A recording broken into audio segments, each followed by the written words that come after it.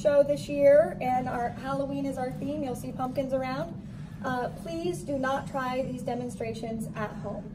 So we're gonna start off with a demonstration here. So I don't know if you guys have ever been um, at the school, like at night, any school. It seems a little freaky, right?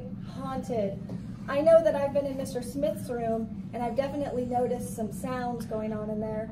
But last weekend I was actually here with some science teachers and I stayed a little later and I could hear some things in my room and I was really wondering what was going on.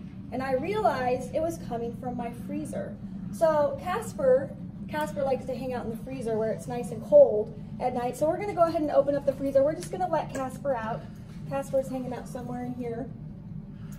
So, and what I've got over here in this in this fish tank is I've got some dry ice. And so dry ice is, is very cold, um, negative. Mr. Wiley, want to tell me? Around minus 95 Fahrenheit.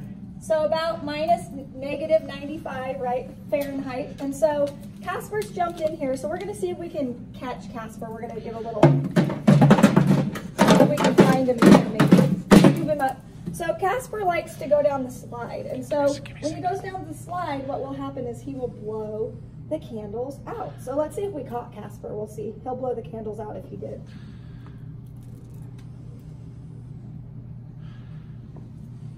So there's Casper. Um, and so now who knows? We'll let him back in the freezer because, you know, he likes the cold. So we'll go ahead and let him in there. So what's actually happening in this demonstration is there's dry ice in here. And dry ice, by the way, is solid carbon dioxide.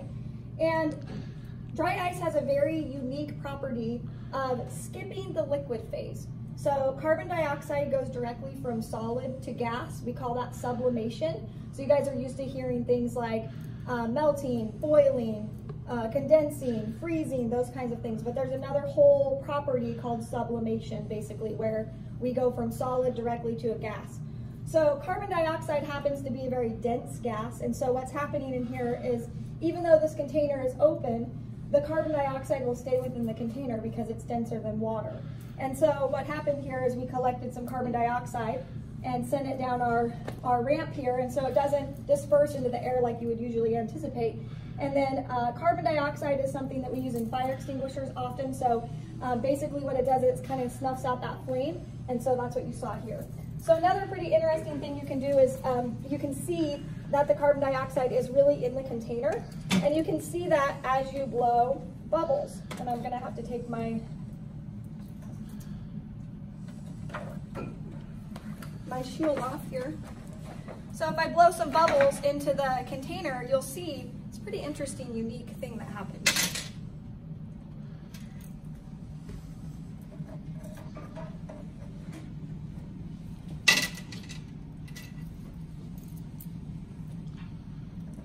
So what happens is you can see that the bubble is actually floating. And if we sat here for a couple of minutes, what we would find is that the bubble will begin to shrink, or not to shrink, it will begin to, to sink down into the, the fish tank. And the reason that that happens is because the carbon dioxide is diffusing into the bubble. So sometimes you can get them to stay for pretty long. Sometimes they'll get a little frosty and frozen and sit there for a little longer. But it seems a little magic-like, doesn't it? Pretty easy to do. All you have to have is some bubbles for little kids and some dry ice and a tank to put it in.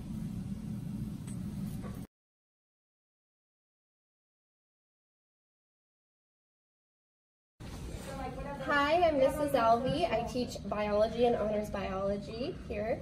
And I'm going to do an experiment here with you guys. And what we have are three cans with just a little bit of water in the bottom.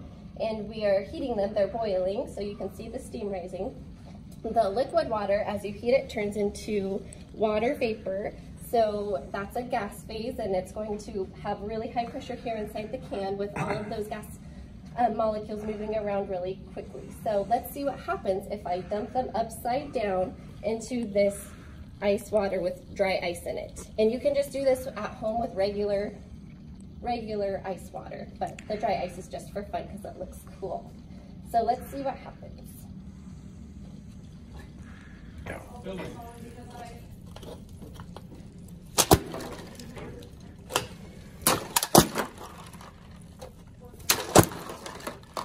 Woo! Okay, so what happened was the air pressure outside the can was greater than the pressure inside the can because all of that water vapor um, got so cold that it condensed into actual water. So it imploded. Exciting.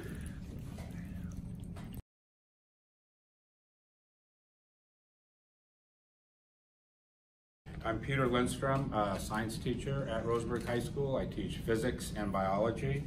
And right now, I'm going to be dropping some dry ice into these three beakers. Can you see the beakers? Something is going to happen and Mrs. Brooks is going to explain what's happening. And I'm Mrs. Brooks, and I teach physics to the freshmen, and then I also teach chemistry here at Roseburg High School.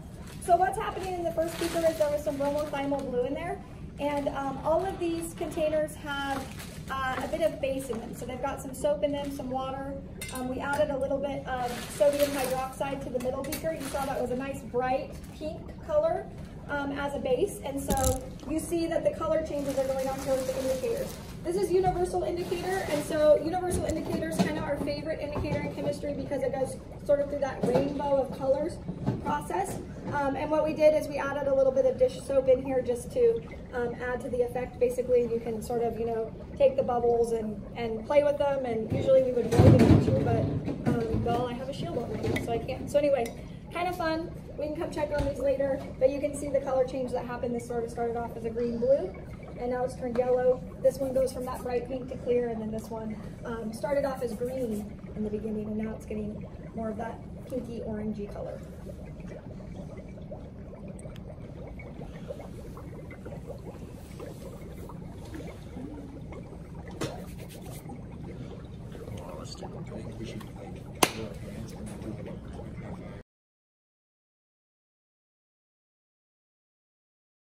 I'm Chad Smith. I am one of the science teachers here at Roseburg High School. I am teaching chemistry, anatomy, physiology, and medical terminology. Uh, what we've got for you are some combustion reactions. So we are going to take some different alcohols. In this case, we're taking ethanol, and we are going to combust it with the use of oxygen. And we've created these type of cannons, if you will. Uh, this one here is made out of my favorite drink, Arnold Palmer's, half lemonade, half iced tea, best drink in the world. We've got our projectiles here that we've put together. We've got one that is a beaver projectile and one that represents the Oregon Ducks. Woo! Okay? So, so we'll start with the Oregon State Beaver. We'll put that in there. Ooh, I guess I better give some fuel first, huh? So like I said, the uh, fuel that we're gonna use here, we're gonna use methanol.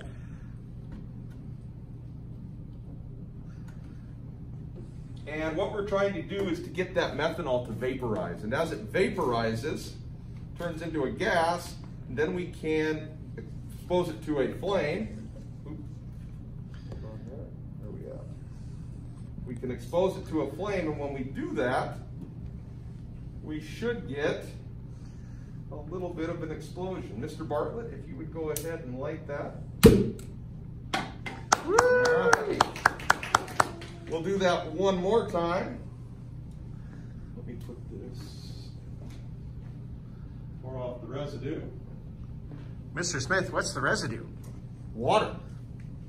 The gas that we create is carbon dioxide. That's what's gonna, and then the pressure pushes that projectile out and we produce water that I just ended up pouring down the sink. So let's see what we can do with our other projectile.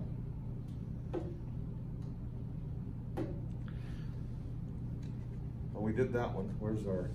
Oh, oh, we did do the Oregon Duck one. All right, so we're back to the Oregon State Beaver.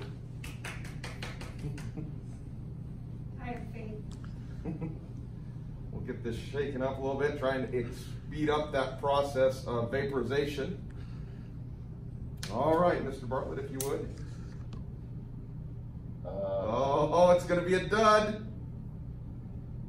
Oh, no. I think it's fitting that it's the well, it's science. Sometimes things work, sometimes things don't.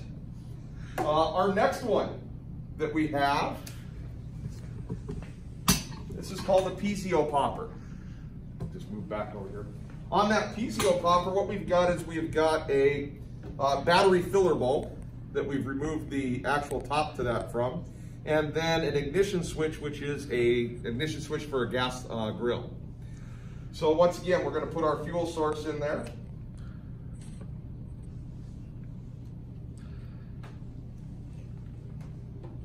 We will put our ping pong ball or our projectile on that.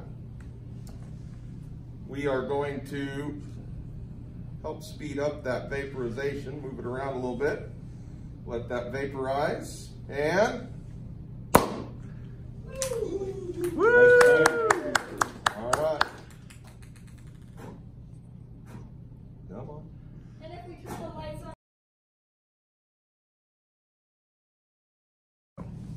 Hello, I'm Mr. Vince Aguirre. I teach physics and biology here at Roseburg High School. I'm going to demonstrate the egg in a flask. So what's gonna happen here is we're gonna take a paper towel, we're gonna light that paper towel on fire, and we're going to quickly put it into the flask and put the egg back on top and see what happens. Go for it.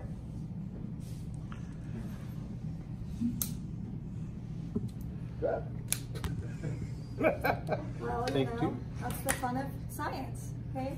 This is why, don't try this at home, kids. Oh, Don't try this at home, yes. Uh, and then put the egg on there. There you go. We're gonna watch what happens.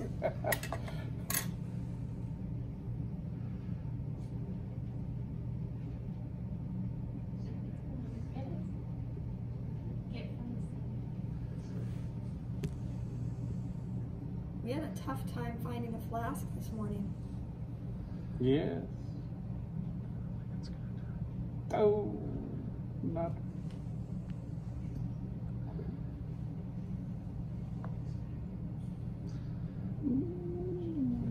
It's gonna be time elapsed. So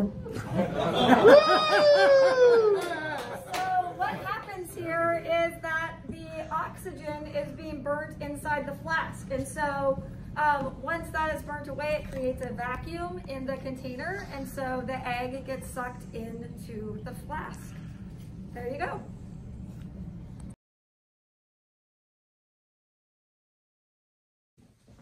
Hello, my name is Mr. Weir. I teach physics, sorry, ninth grade physics, honors physics, biology, and robotics after school. Today we're going to be playing with a uh, vacuum chamber. Uh, in this case, we have normal atmospheric pressure uh, weighing down then on this balloon, keeping it quite compressed. As we remove the air, you'll see what happens to the balloon.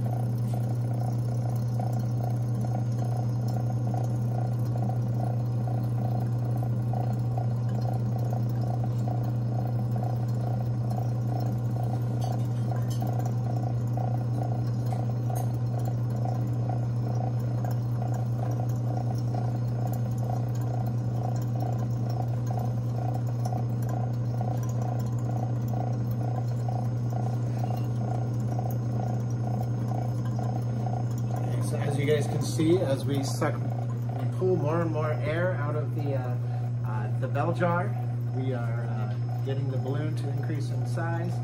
My concern here is, any moment, our balloon is gonna burst because we're gonna suck a hole. Okay. Okay, so here's our nearly fully inflated uh, balloon. Uh, the question for you guys is there actually any more air in the balloon now than there was when we started? I'm going to release the pressure. Sorry, release the vacuum.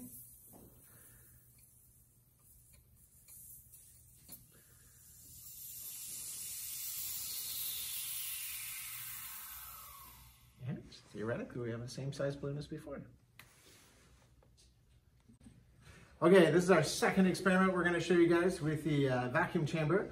Uh, we have a regular, ordinary, yummy marshmallow, uh, which has tiny, tiny little holes in it. And we have some, what is this, Barbasol shaving cream. We're going to put in here. Cool. Okay. Now we're going to apply a vacuum to this and see what those tiny, tiny little bubbles inside each one of these substances does when we remove, remove all the air.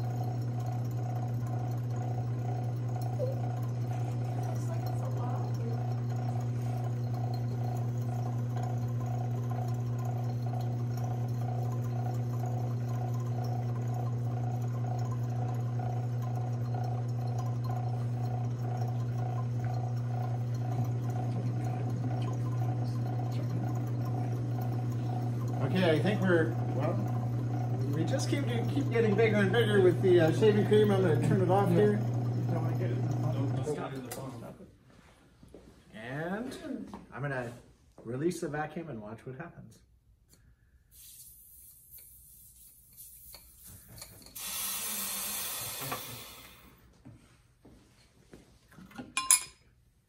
Does anybody want to eat a marshmallow?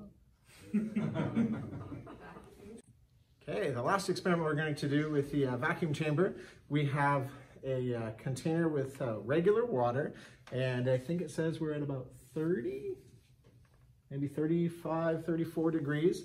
Uh, normally water boils at 100 degrees at standard temperature and pressure. Uh, we're at Roseburg, so we're very, very close to standard temperature and pressure. As we decrease the pressure, the amazing thing is we can get things to boil at much, much lower temperatures like room temperature. Um, you may see this uh, if you go camping at very, very high elevations. You try to boil spaghetti and the spaghetti boils at such a low temperature, you can't ever actually heat, uh, cook your spaghetti. Let's see how this goes.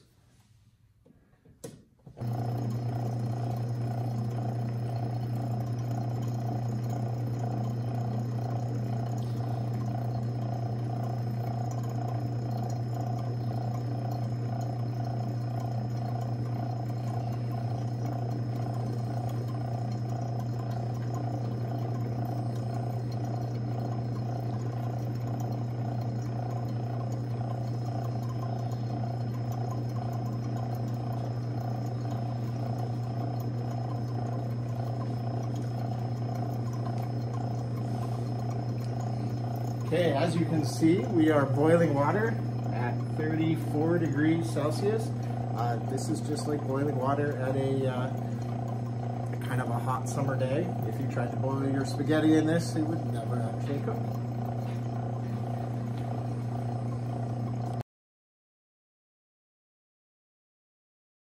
All right, everybody, it's almost payday. I'm down to my last Sorry I didn't get you any candy. Um, I'm gonna take this dollar and I'm gonna put it in this liquid right here. Mr. Weir has a hundred dollars he brought for me.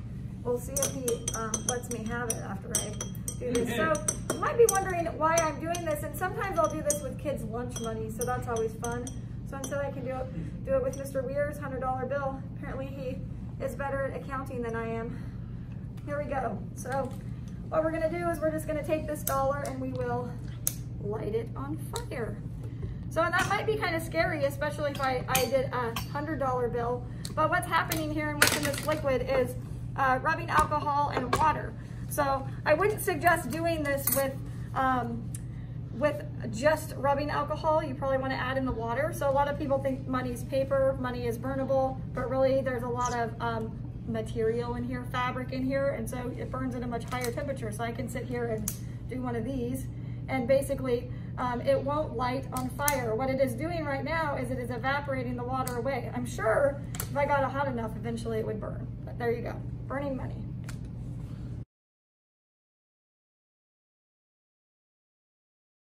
All right, so this is Mr. Bartlett again. We're gonna mix a couple themes here, the theme of Halloween and also a little bit of chemistry. And uh, so we are calling this Franken Pickle.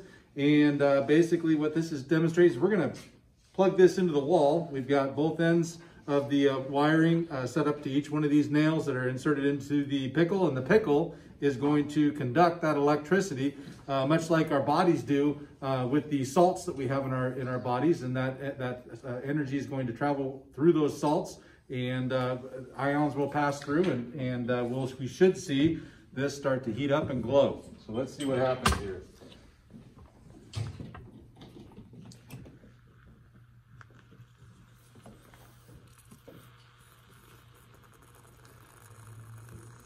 I hear something going on.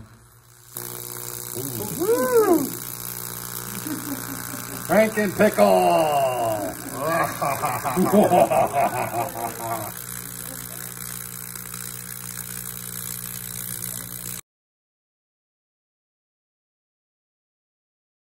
All right, Mr. Smith back here. Uh, we are going to show you here. This is what we're going to call the fire tornado. Uh, in the Midwest, we're always concerned about tornadoes, and with what's been going on around here this last uh, few months and all the fires we've gotten, uh, we want to show you what happens when you put the two together. So we've got a fuel source down in here. We've created a little funnel with some mesh fencing, and we've got a Lazy Susan here so that we can spin this once we get it going.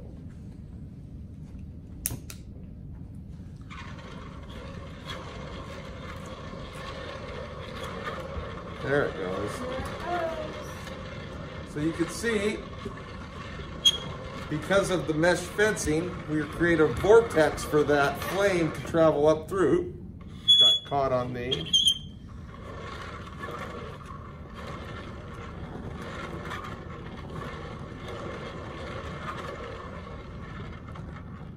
All right.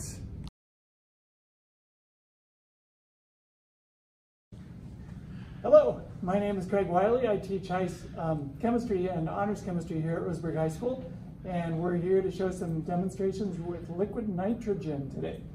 Liquid nitrogen is a very, very cold, cold liquid. Every day we're surrounded by air that's made of 80% nitrogen, but we can't see it. If you take that air and cool it down to very, very cold temperatures, around minus 300 degrees Fahrenheit, you can turn that liquid you can turn the nitrogen into a liquid actually. And we've got some of that here. I went and bought some. It's here in this big cylinder. It's a big double wall cylinder, kind of like a big thermos bottle. And there's the liquid nitrogen. Right there. It looks kind of like it's boiling. Because it is. We'll talk a little more about that later. I'll just dump some on the tabletop here.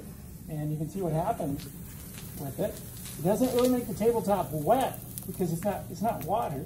It just sort of spreads around and evaporates. Turns from the liquid back into a gas. All right. So there's a number of things we can do with liquid nitrogen. It is so very, very cold. I've got some here in this container already. We could dip a variety of things into the liquid nitrogen and see what happens to it. So let's take uh, the dipper here. Let's put in a marshmallow and a couple of uh, Swedish fish. Fish like to swim. So put a couple of fish in there, drop a marshmallow in there, and we'll check back on those a little bit later. All right. Some nice pretty flowers. Flowers for your weekend date. Preserve them. And those are ready. Now they're nice and preserved. Ah, but don't drop them. Don't drop them. Because they tend to break with being frozen solid, solid, solid. Uh, let's see, what else can we put in there? What a banana. What happens with a banana? And for a banana sickle? We'll just leave that in there for a little bit and we'll check back on it a little bit later. We'll check back on our candy here and see how our marshmallows doing. Marshmallow and our fish here.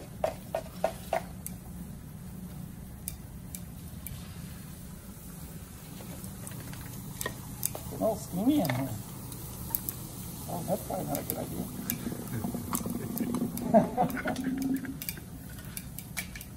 All right. The marshmallow's a little harder than it was before. I've never seen a marshmallow break like that.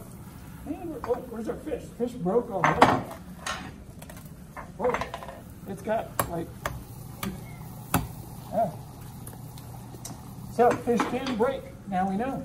Can break the and break the fish. Well, I've got a hammer, but we also may want to try something other than a hammer. This banana's gotten a little harder than it was. I wonder if we could use that in case we've lost our hammer. That worked pretty well. Banana's gotten hard enough we can just hammer a nail with it. Not bad, huh? All right. Let's see, what else do we want to check on next? Ah, so I said that this is boiling. This marshmallow is. Okay, the marshmallow broke up. It's gooey now. So we said that the liquid nitrogen is boiling. It looks like it's boiling. It actually is. And just to make the point that it really is boiling, I brought a tea kettle with me. Can something be so cold and still boil? It's boiling cold. Can we have boiling cold liquid?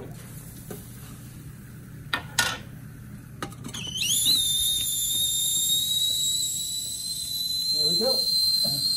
Boiling liquid nitrogen.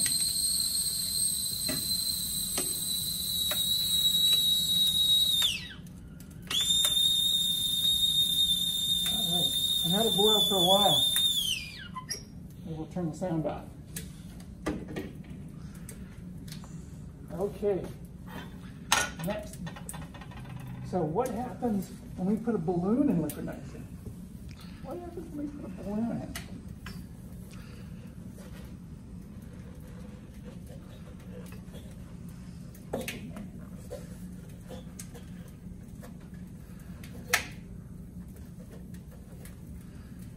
Something's happening to this balloon. Doesn't take up quite as much room as it did before. Why would the balloon shrink and get so much smaller in liquid nitrogen? Think about it. What happens to air when you cool air? It shrinks and takes up less space. A lot less space in this case. So we're taking up a lot less space than we were before. And we can put those whole long, three foot long balloons in liquid nitrogen.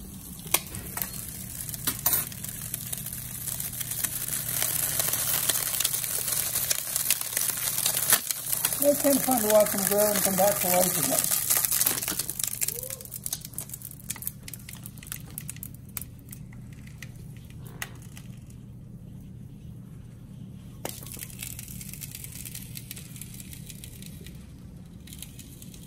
Like that one's fun to leave. That one died. All right. We can do the same thing with round balloons. Get the same effect.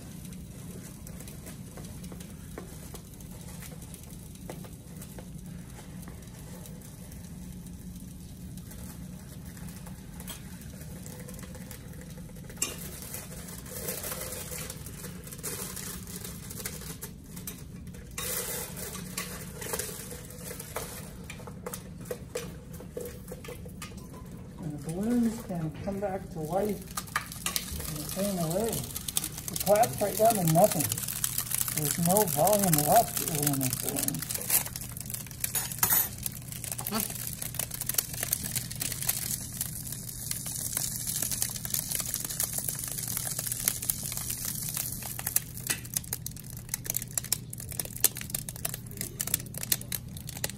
All right, now finally, one of the other last things I want to illustrate with liquid nitrogen, I hope, and this may or may not work, sometimes it does, sometimes it doesn't, is this. Now liquid nitrogen, as I said, has a, a, a boiling point, that's what it's doing, boiling right now, of around minus 300 degrees Fahrenheit. Oxygen has a boiling point that's about 20 to 25 degrees higher than liquid nitrogen. So I put some liquid nitrogen in here a little while ago, and I put a really strong magnet here in the liquid nitrogen. Why am I doing that? Okay. Honors chemistry will relate to this perhaps the best. Uh, we talked about, started talking about Lewis dot diagrams. There's a Lewis dot diagram for an oxygen molecule. An oxygen molecule, like we breathe in the air, is actually two oxygen atoms joined together with a double bond. And in the Lewis diagram, we see the double bond there. Outside of that double bond, oxygen has other pairs of electrons that are not involved in bonding. If you, some of you may remember that there's a characteristic of electrons called spin. Those electrons can have different spins on them so that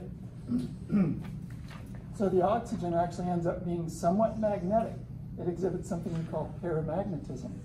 So the idea here is that some of the oxygen from the air will have cooled to a point here where it's turned into a liquid at the bottom. Now, liquid oxygen is virtually clear, much like liquid nitrogen. So what I'm hoping we can be able to see here is that on the very bottom of this magnet, we'll see a tiny residue of liquid oxygen when it comes out of here. So I'm going to lift this up and tip it towards you. And if you see any liquid on there, it's not going to be the nitrogen. There'll be a little bit of liquid oxygen right on the bottom. So sometimes you can see it, sometimes you can't. That's okay. All right. So liquid nitrogen, good cold stuff. Um, want to be careful when you handle it, protect yourself, and enjoy chemistry.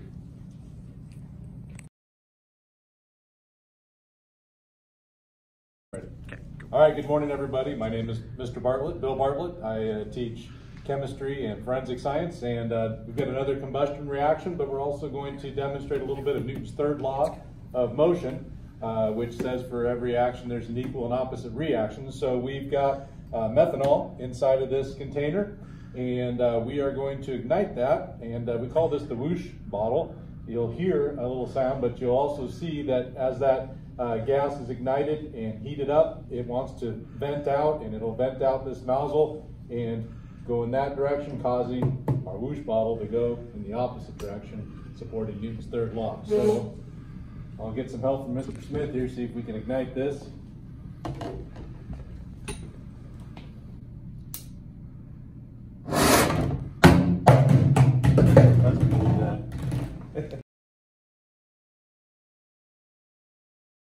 Here we go.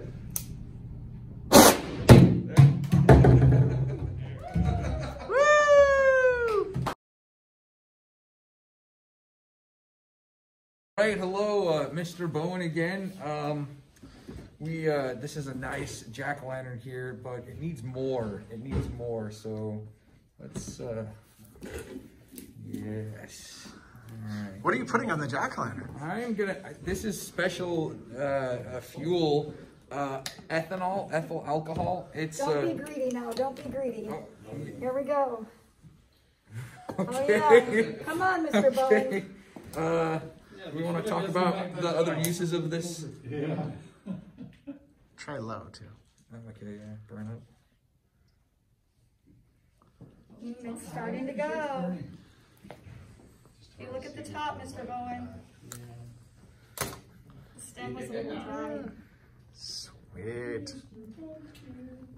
Let me do the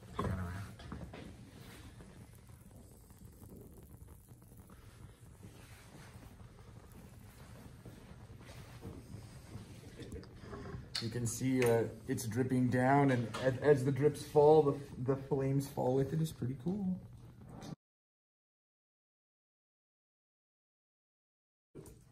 Hi, Mr. Wiley again here. What I want to show you now is what happens when atoms are giving off energy. We've talked a lot about electron configurations in chemistry class and advanced chemistry class, and we're going to transfer that knowledge over now to the production of light from various atoms of metals. First, though, I want to point out something for you that you're already really familiar with. When you run electricity through neon gas, through neon gas, it makes this familiar bright light. That's because the electrons in the neon gas are being excited, boosted to higher energy levels. They stay there just for an instant, fall down to lower energy levels, and release light. So when we run electricity through atoms, that can happen. But there are other ways we can heat up atoms as well. Take this, for example. I've got a little bit of common sodium chloride here in the dish, and I'm going to light this burner, and we'll use heat to excite the atoms this time. So I'll, I'll wet the end of this little metal rod here, stick it to some of the sodium chloride salt, and then we'll put that in the flame, energize the atoms, and see what happens. Whoa, we got that really bright, intense, orangish yellow flame. You might recognize that orangish color as being the color of some of the parking lot lights that you see, or lights on the side of buildings at night. So some of those lights have that same orange color because they use sodium, sodium gas. And when they run electricity through sodium gas, it gives off that same color. Now, another thing we can do is take salts of some of the metals and, and heat them with flame and see what colors they give off. Sodium has that unique orangish color. Neon has that bright reddish orange color. But each different metal gives off its own unique color pattern. We have sodium here, we've seen that already, copper, potassium, strontium, and lithium. So I'm to turn this flame off, and we're going to put a little bit of fuel on each of these so that they'll burn. So a little bit of fuel, and then we'll ignite them, and you can see the different colors. Some of these same colors that you see will be the same colors that you see in fireworks, literally using these same chemicals.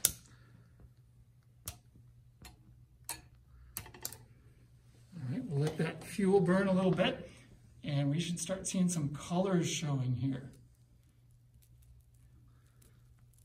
There's copper. Copper has a classic bluish greenish flame in it. There's that bright orange of sodium. Potassium with another kind of an orangish yellow. That strontium flame is beautiful with that rosy orangish color. And lithium with that deep scarlet reddish color.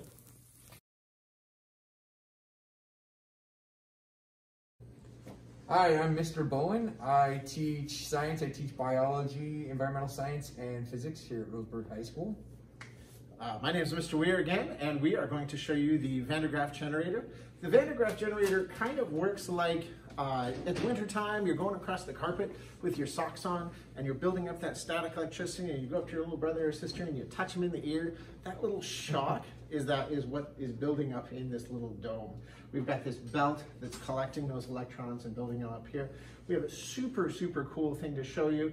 When we turn it on, we're gonna put these little aluminum pie plates and some electric magic happens.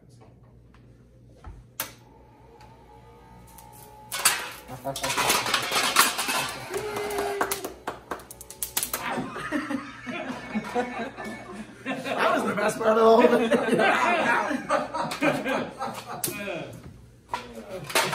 okay, we're going to do a very similar experiment, this time with uh, little paper dots. Um, and when we put the paper dots on the top of the Van de Graaff generator, they're going to experience uh, electric. Here we go. Okay.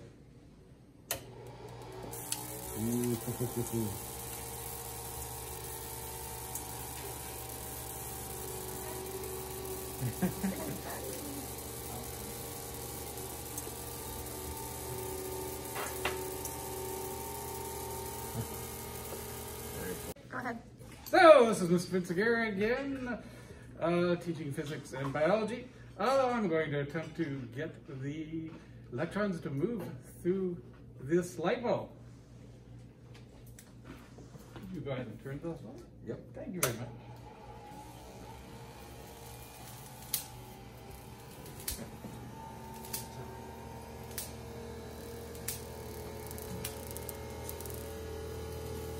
So, it's doing an excellent job of going through me. oh, there you can see. Oh.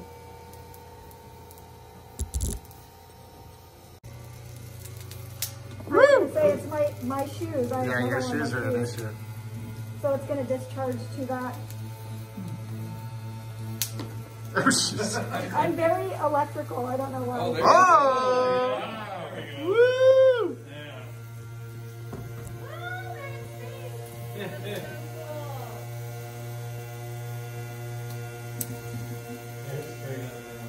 is awesome. Miss Brooks, you are the winner.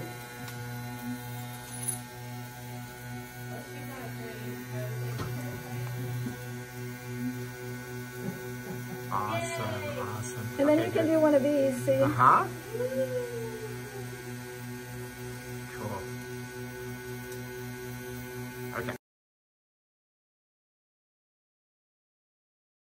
This is Mr. Weir uh, and Miss Alvey back. We have Miss Alvey uh, all wrapped up in a big plastic bag. Uh, you can't see it from there, but we have a shop vac here. We are going to evacuate to remove all the air. This column of air on top of her is going to press that uh, plastic bag against her, trapping her so she can't even move. Ready, set, go. How do you feel, Miss Alvey? I feel pretty good. Pretty comfortable. Hi, here we go. It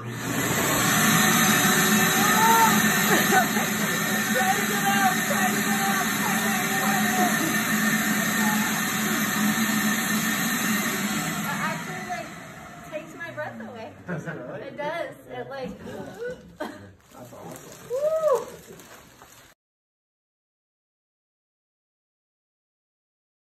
Started.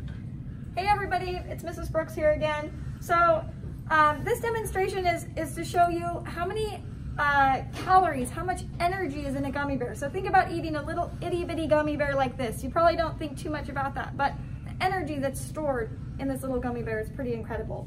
So what I've got here in this test tube is uh, potassium chlorate. And so what I'm gonna do is I'm gonna um, heat this potassium chlorate up and I'm going to um, get it all melted. And then what I'm gonna do is I'm gonna put a gummy bear in there and it's gonna show the amount of energy that is in a gummy bear. And I might try to get two in there. But we've gotta start with getting this potassium chlorate melted first.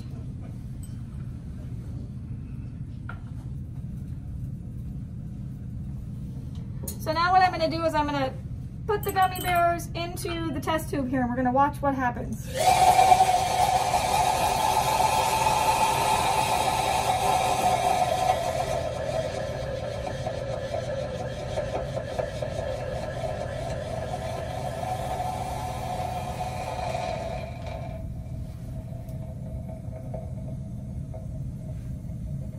So as you can see, this is another highly exothermic reaction, and it's probably pretty surprising to you to see how much energy is stored in a gummy bear. So the next time you wanna eat an entire bag of gummy bears, you might wanna think about the calories that you're gonna have to, to burn through exercise after that.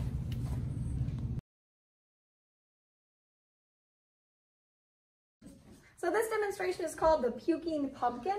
So inside this pumpkin, I have a little dish that has um, some hydrogen peroxide. It's not the hydrogen peroxide that you can buy in the store. It's lab grade. It's much stronger. Um, and then to that, I added a little bit of food coloring and some dish soap. So what I'm going to do is I'm going to dump in this potassium iodide solution and we're going to see what happens. Woohoo! All right. So this is a highly exothermic reaction. If you look at it, there's lots of steam. Um, there's endothermic and exothermic reactions, So exothermic releases heat. What's happening here is that the uh, hydrogen peroxide and the potassium iodide are reacting and creating a bunch of oxygen gas. So we put dish soap in here to blow those bubbles up so you get your puking pumpkin.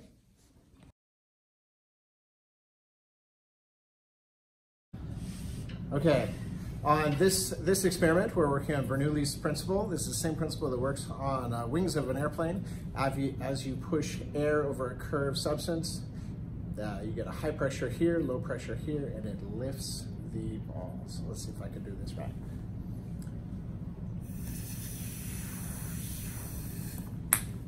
So the first experiment, we used this straw and this itsy beansy tiny ping pong ball.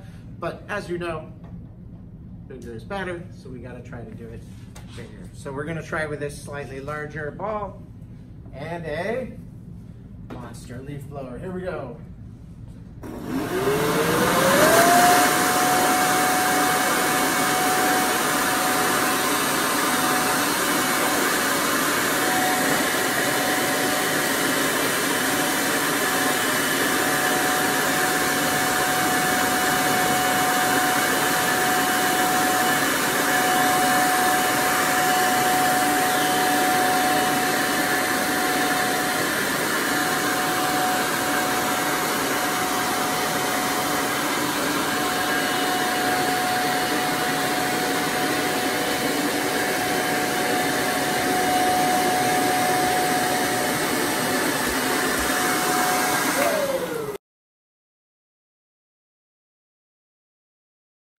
Guys, uh, we're looking at a set of cow lungs, and we're going to use a high or shop vac to go ahead and inflate those. And the whole premise behind this is we want to show you how those lungs inflate on top of the fact of what's going on in there is we're going through the process of diffusion and we're taking and moving oxygen into the capillary beds that surround the individual what we call alveoli of the lungs. And in the same process, carbon dioxide is leaving your blood supply and going into that empty space within the lungs to be exhaled on the breath out.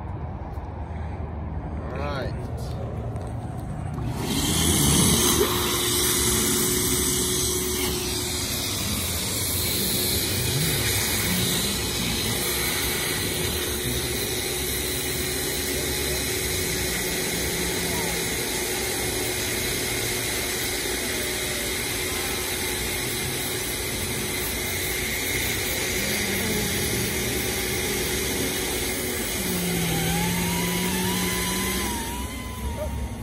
They'll get really way bigger.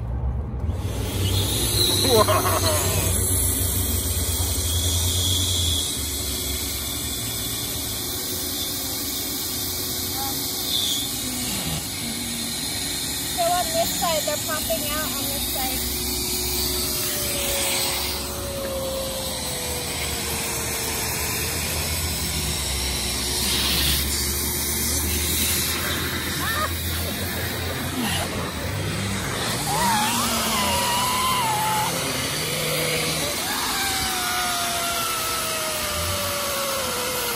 Anybody want to touch it?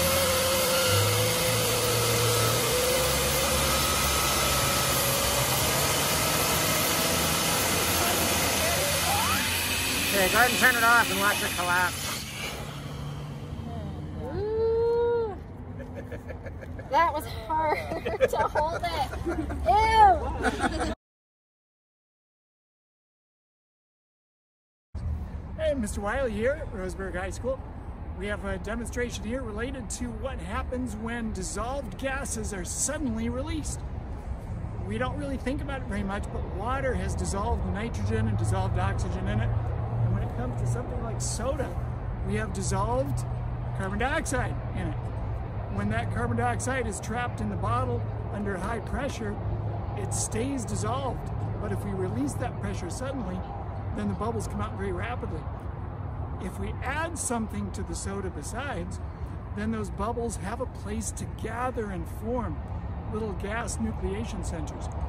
So we're going to add some Mentos candy into this Coke, and when we do that, it'll provide a large surface area for the rapid formation of a bunch of bubbles. See what happens.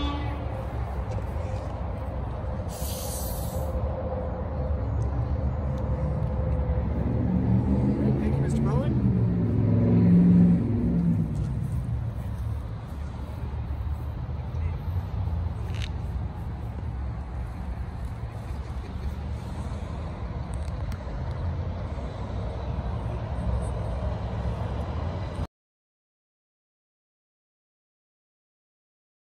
And I'm the principal here, and I'm pretty excited to get to do the science experiment with you.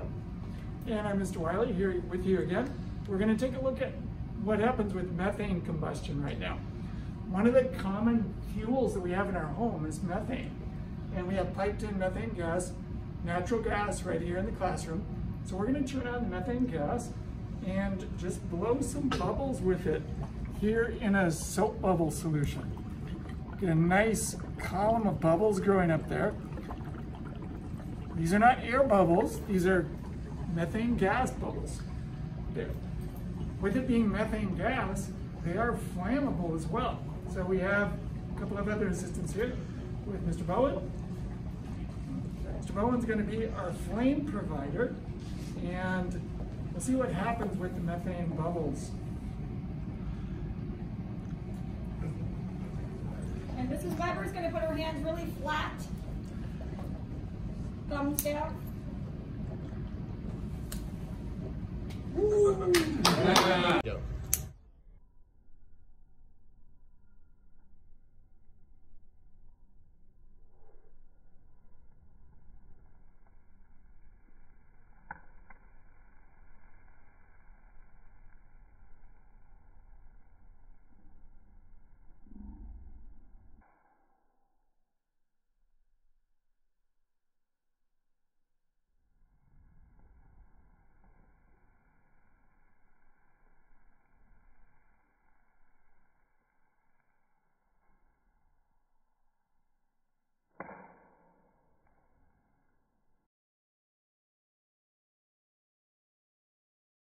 All right, uh, Mr. Smith back here. We're going to do a flaming uh, or a spitting fire pumpkin here.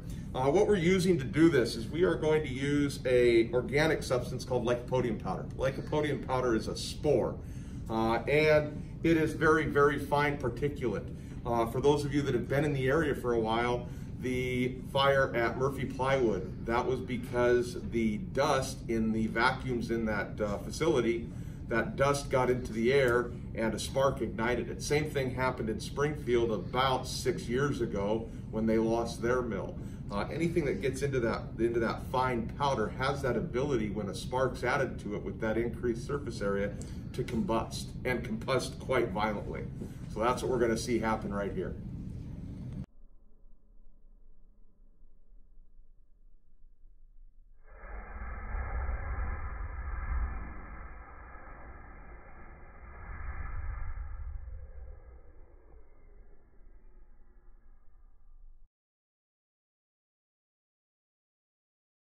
Uh, demonstrate another experiment again using lycopodium powder, except uh, this uh, demonstrates kind of what happens uh, in the in the Midwest. There's oftentimes uh, grain elevator uh, explosions where they've got those big silos full of grains, and again they start to develop dust. And if there is a spark, just like we did with the pumpkin, it will ignite and cause an explosion. So in this particular case, we're using a can. We've got lycopodium powder at the bottom and a candle is our, heat, our light source, and we're going to blow the lid off of this can.